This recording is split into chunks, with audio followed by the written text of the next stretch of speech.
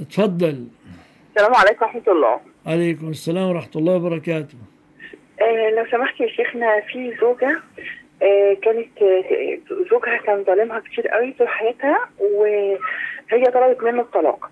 وهو لقى حل علشان عنده بنت عايز تتجوز قال لها أنا آه ممكن أكتب لك ورقة إني أنا متبرئ من كل حقوق الزوجية وإنك تعيشي آه، في غرفة في البيت معززه مكرمة مع أولادك وأنا ماليش إن أنا أطلب منها من من الشخص من الزوجة دي أي حق شرعي.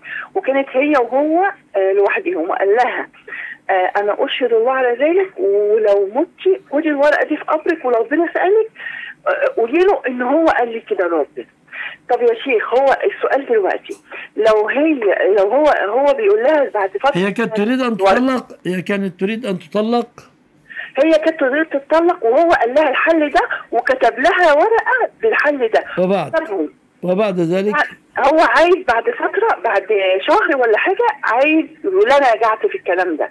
وهو كان مشاهد ربنا عليه. يا ترى إيه بقى؟ خلاص تطلق.